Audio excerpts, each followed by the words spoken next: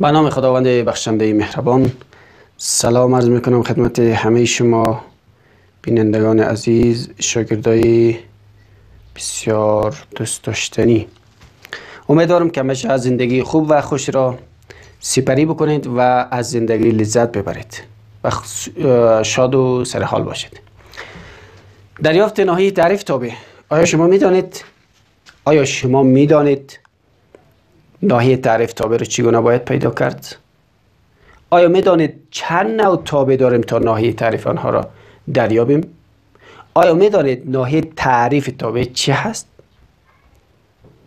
اگر اینها را می‌خواین بدانین لطفا تا آخر ویدیو بیننده باشین ناحیه تعریف تابع دریافت ناحیه تعریف یک تابع یک تابع دارای ناحیه تعریف و ناحیه قیمت می باشه اگر ما دو ست A و B را در نظر داشته باشیم ست A دارای سه عنصر و ست B دارای پنج عنصر است.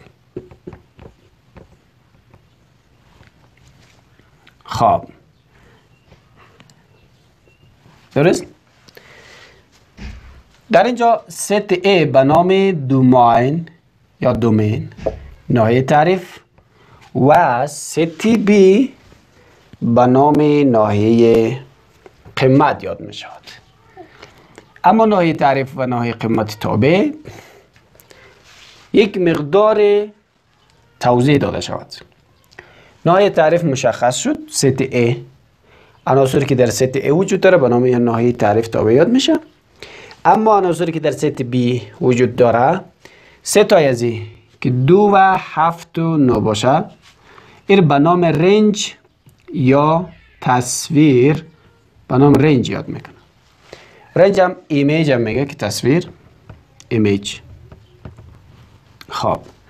اما در کل این سه تا به نام کد این نایه چی؟ نایه قیمت به نام نایه قیمت یاد می‌کنه و این طرف هم که نایه چه تعریف است. بینان یک سید می‌تونه نایه تعریف ناحیه تعریف مشخص داشته باشه.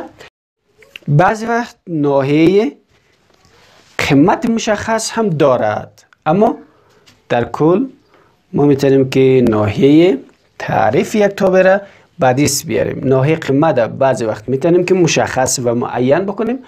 اما بعضی وقت دیگه مثلا قیمت های مشخص برای تابع پیدا نمیشه. خیلی حال می ببینیم که چند نوع تابع داریم از نظر از که ما می‌تونیم ناحیه تعریف تابع دریافت بکنیم. از لحاظ از که ما بتونیم ناحیه تعریف یک تابع را مشخص بکنیم ما سه شکل تابع داریم. تابع پولینومی، تابع کسری، تابع جذری. در تابع پولینومی تمام اعداد حقیقی شامل ناحیه تعریف تابع می شود تابع پولینومی هم می‌فهمیم که تابع یک مشغولی درجه یک است. درسته؟ یک مجهوله درجه یک. خب یک مجهوله درجه دو است. درجه دوم. به همین شکل این تابع خطی هم مگیره خب درجه دو. یا تکمیل این شکلی از پولینوم ها ناحیه تعریف بسیار راحت پیدا میشه. مثلا f(x) مساوی است به 4x مربع مثبت 5x مثبت 6 یک تابع درجه دو یا تابع پولینومی است. در اینجا در این شکل تابع تابع پولینومی چون مجهول مجهولی که داریم خدمت بتیم در اینجا تابع مشخص و معین برش قیمت دریافت میشه. مبهم نمیشه. به همین لحاظ ناحیه تعریف از دو ماین اف مساوی سبب تمام اعداد حقیقی. هیچ استثنایی وجود نداره. تمام اعداد حقیقی می‌تونن ناحیه تعریف ازی باشه. شامل ناحیه تعریف شده میتون خب. اما تابع کسری. یعنی زمانی که تابع پولینوم درجه یک درجه دو درجه سه هرچی که باشه. به این شکل تابع ناحیه تعریفش تمام اعداد حقیقی است. چرا که تابع به هیچ قیمت مبهم نمیشه. اما تابع کسری.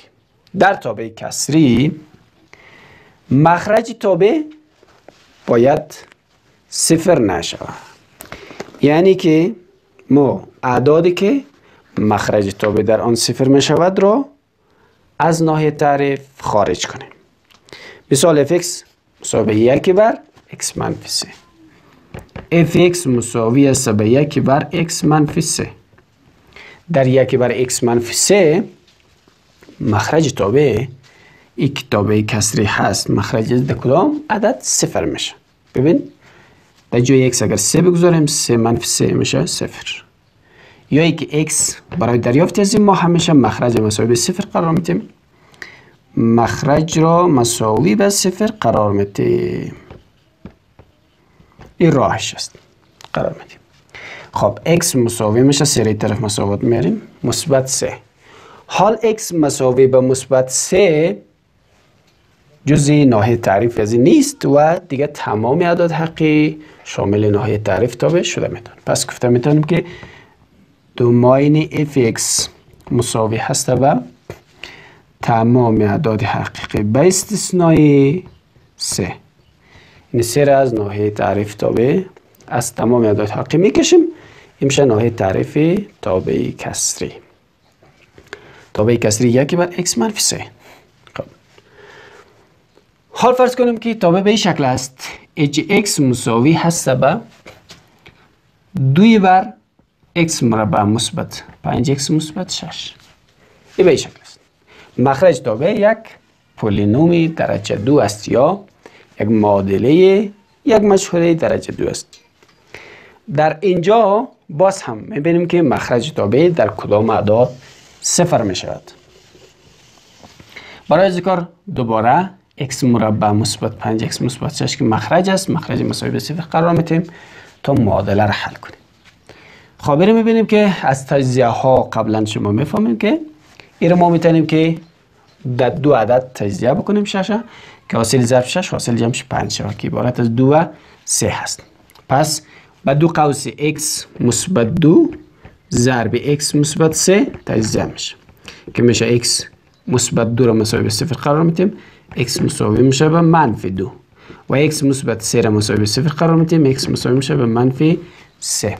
پس دو قیمت منفی دو و منفی سه را دریافت کردیم که مخرج تابع در عدد صفر میشه. حال در اینجا تعریف می‌کنیم که ناحیه تعریف AGX مساوی هست به تمام اعداد حقیقی به استثنای منفی سه و منفی دو. منفی سه و منفی دو قیمت نمی‌گیره. دیگه تمام اعداد حقیقی شامل میشه. سوم تابع جذری. در تابع جذری باید تحت جذر اگر جذری دوم باشه بزرگ مساوی از صفر قرار داده شود. یعنی که ما می‌تونیم جذر یک عدد مثبت جذر حقیقیش رو به دست بیاریم. با اون لحاظ ما میگیم که اگر تابع gx مساوی باشه به جذر 3x مثبت 12 ناحیه تعریف زیر دریافت بکنیم. خب ناحیه تعریف از زمانی که دریافت می‌کنیم 3x مثبت 12 بزرگ مساوی از صفر. قرار میتیم تابع تحت تابع را تحت جذر هر چی که داریم بزرگ مساوی از صفر قرار میتیم پس در این جامعه 3x بزرگ مساوی از منفی 12 اطراف تقسیم 3 می‌کنیم.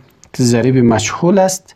X بزرگ مساوی از 12 تقسیم 3 4 منفی 4 x بزرگ مساوی از منفی 4 خب پس در اینجا.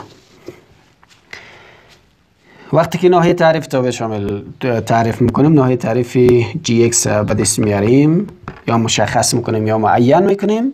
در اینجا میگیم که بزرگ مساوی از منفی 4 یعنی که از منفی 4 قیمت گرفته می‌تونه تا به نهایت. پس ناحیه تعریف زیره به این شکل مشخص کردیم.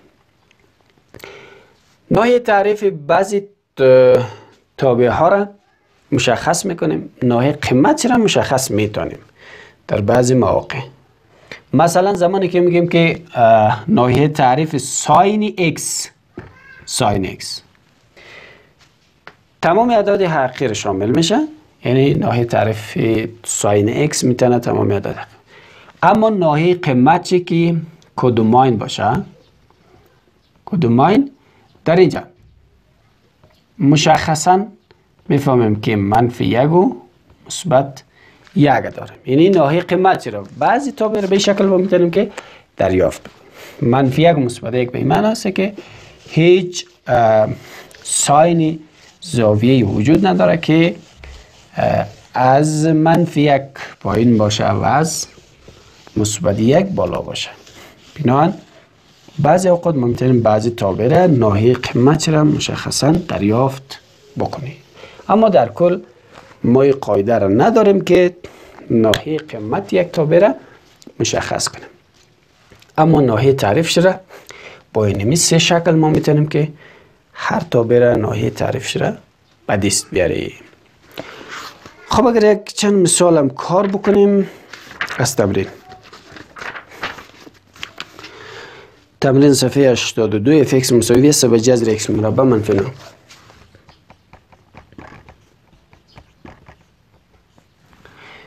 جذر x مربع منفی 9 تابع کس جذری هست. در تابع جذری گفتیم که تحت جذر هر چی که بزرگ مساوی است صفر قرار میدیم.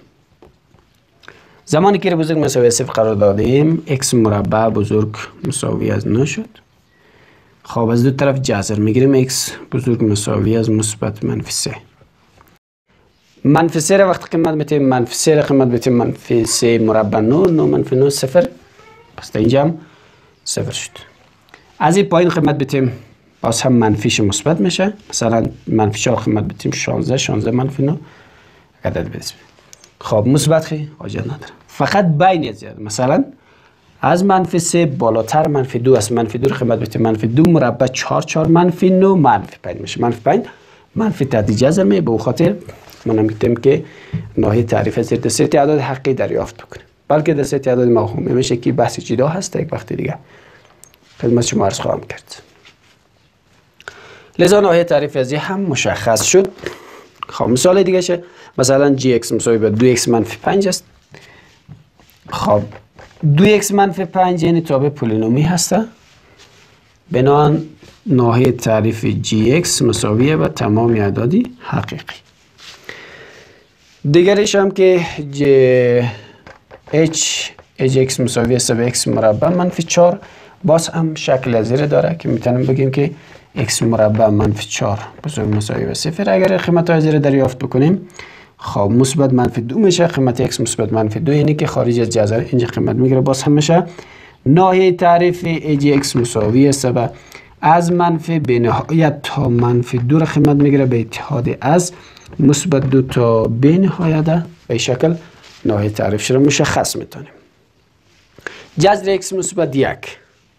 خب fx مساوی به جذر x مثبت یک. همین شکل بزرگ از صفر قرار میتیم x مثبت یک بزرگ از صفر.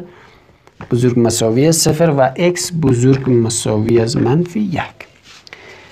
خب یعنی منفی یک هم قیمت می‌گیره. منفی یک مثبت یک صفر. جذر صفر صفر است. بعد از منفی یک بالاتر صفر می‌گیره. یک می‌گیره. دو هم رقمی پس ناحیه تعریف از زیره اگر ما مشخص کنیم میگیم که از منفی یک از منفی یک الا به نهایت قیمت می‌گیره.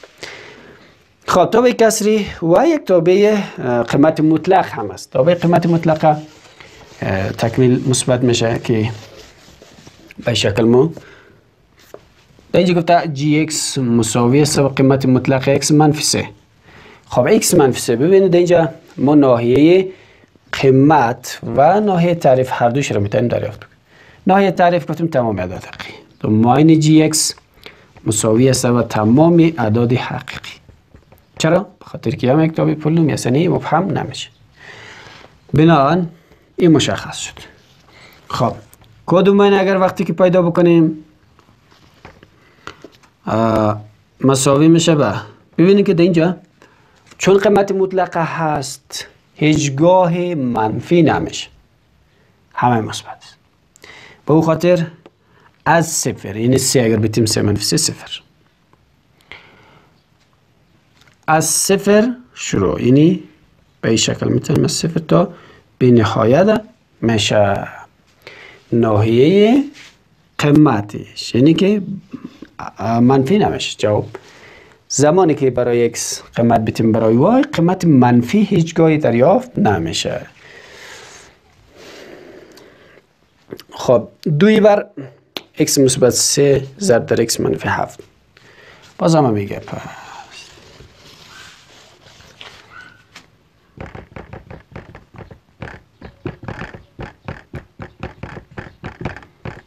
بله در اینجا زمانی که مشخص می‌کنیم باز هم می‌بینیم که دو عدد مخرج اگر قرار بگیره مخرج صفر میشه. یکی سه است سه منفی سه صفر صفر ضرب زیر صفر می‌کنه. یکی منفی هفت است. منفی هفت و مثبت هفت صفر ضرب ازی شد صفر می‌کنه. پس x 3 و x منفی هفت. میگیم که ناحیه تعریف f fx مساوی است با تمام اعداد حقی. به استثنای دو عدد یکی منفی هفت است و یکی هم سه است. این دو عدد نمی‌تونه که در مخرج قرار بگیره شامل ناحیه تعریف ازی باشه. دیگه تمام اعداد حقی شامل ناحیه تعریف ازی تابع شده می‌تونه خب امیدوارم که این درس خوب یاد گرفته باشید. درس با دوستای خود شریک بسازید. channel ما رو هم subscribe بکنید.